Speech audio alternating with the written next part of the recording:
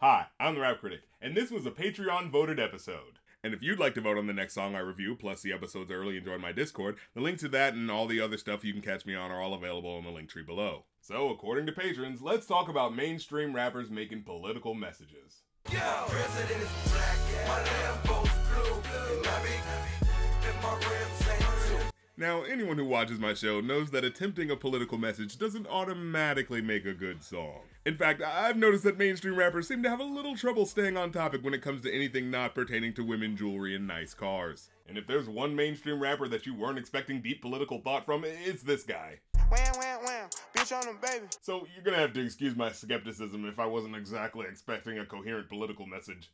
Not that all rappers should be super deep or anything, but in trying to listen to Lil Baby's discography, there's just not a lot of exciting stuff to get out of it. So much of it just feels like yet another drop in the Migos Future derivative auto-tune wasteland of the current mainstream. At the same time though, as a concept, I do like the idea of a big name artist using their platform to call attention to social injustice. In a way, it's a harbinger for how bad things have gotten. I mean, God knows the recent George Floyd murder by cops have caused civil unrest in all 50 states and around the world, and everyone's seeing the richest government in the world somehow being super slow to actually do anything to protect its citizens. And we're seeing it all in real time because everyone's home on their phones all day because of the disease that shall not be named lest my video be demonetized. And it's like, damn, guys like him are basically paid to not make you think about stuff like this, and even he can't ignore it. So, okay, I'll bite it. Let's see what he has to say.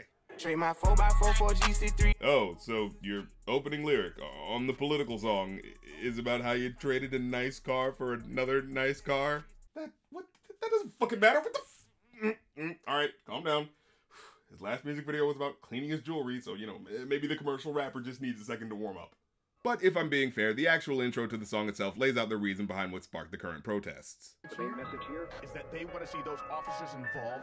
They want to see those officers arrested. Kicking the song off with a full-throated call for justice in wake of the almost nine-minute video of jaw-droppingly clear proof that police are not being held accountable for their abuses of power further evidenced by the fact that none of the cops involved with the George Floyd killing received any significant punishment for the murder until the goddamn world stood up about it. So in that vein, yeah, I think it's dope that an artist like them is not letting the opportunity to speak up at such a crucial moment pass him by. And while lots of rappers who try to talk about tragedy come off as preachy or insincere, he ingratiates himself to the listener by describing how he grappled with the topic in an honestly self-aware way.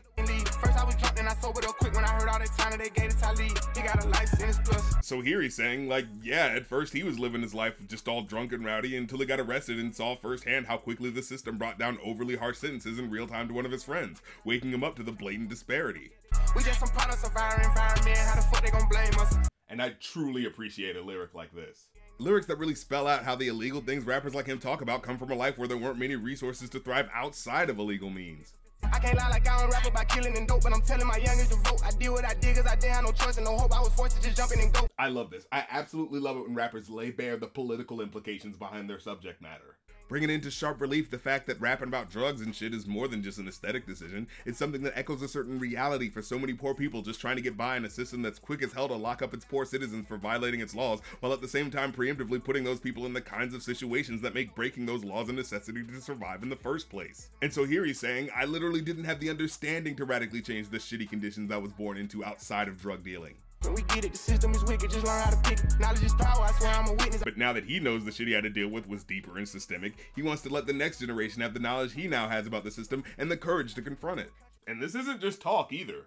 There's footage of him leading protests. Dude's actually out there risking his neck in front of the fuzz, and he filmed part of it for the music video. Fuck it, I'm going on the front line, he gon' bust your ass if you at that gun line. And I dig the little reference to the gun line from the movie Life from 1999. You spit, you pee, you so much as stick your Johnson out over the gun line you will be shot.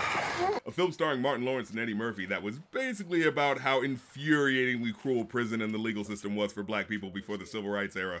They training officers, the killers, then shooting protesters with these rubber bullets. They regular people, I know that they feel it. And, you know, when you get down to it, it doesn't really take some tenured professor of political analysis to see why people are so angry about what's going on. People speaking for the people, I'm proud of them. Stick together, we can get it up out of And so in that vein, he big ups the people in the protest themselves for organically coming together to stand up against the injustices we're seeing.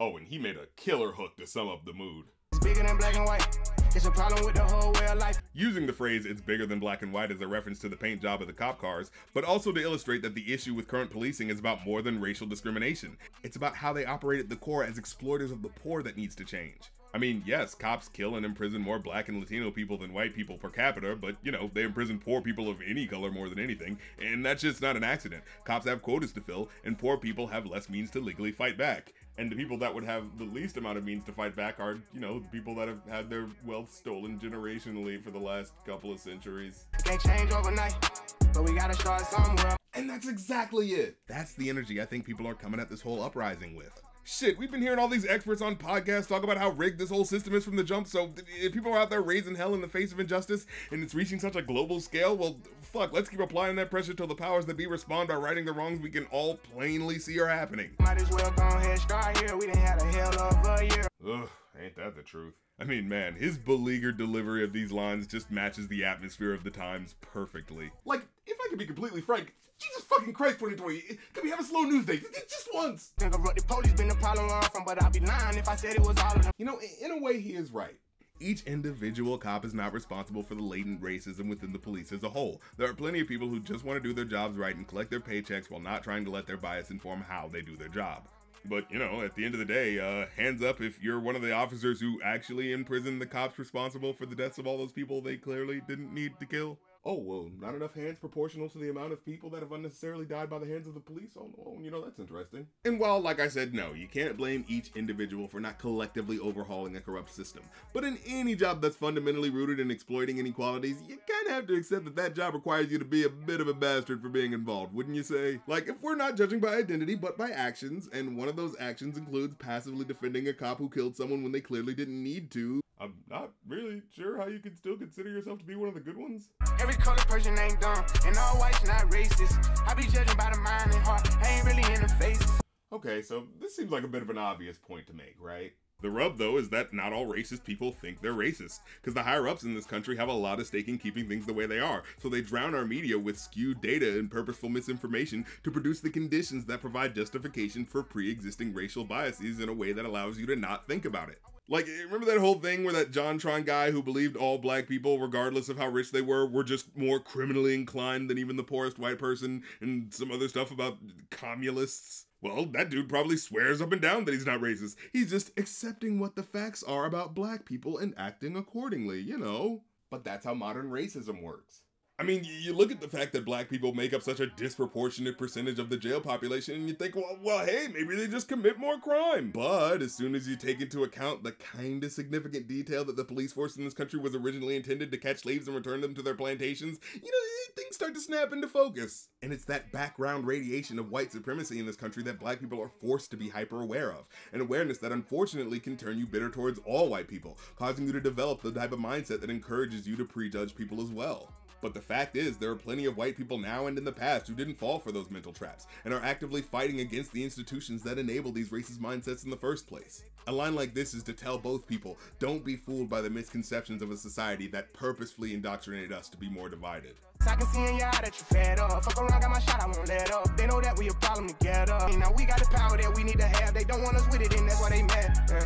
That's right, god damn it. Because at the end of the day, these people in the streets are only there as a reaction to an injustice that's being ignored. And every day these people protest is a day reminding you that these injustices are still happening. And we as the people are not going to stop paying attention until the direct reason why people are angry enough to get out there are finally addressed. Or at least until enough billion dollar corporations post enough black squares to their Instagram pages. Because that's like almost the same thing as them using their vast resources to alleviate inequality, right? Well, anyways, overall, I give this song a 4 out of 5. There's maybe one or two odd lines, but for the most part, the message is solid, the music perfectly fits the atmosphere, and the hook is freaking anthemic. I mean, I can't believe I'm saying this, but the song that captures the political zeitgeist at a time when the people are demanding change is not coming from a Kendrick, it's not coming from a J. Cole, it's coming from a Lil Baby. Damn, bro. Children really are the future. But hey, that's the episode. Leave a like if you like because it helps, comment if you have something to say because it helps even more, and hit the subscribe button and the bell because it helps the most. And if you want to get my merch, follow me on social media, listen to my podcast, or support the show, all those links are in the Linktree below. So check all that fun stuff out, and I'll catch you next time. Peace.